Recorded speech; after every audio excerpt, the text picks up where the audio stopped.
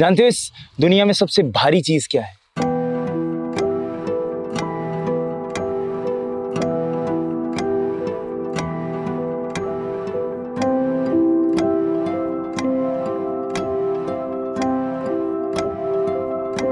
बाप के कंधे पर बेटे की अर्थिंग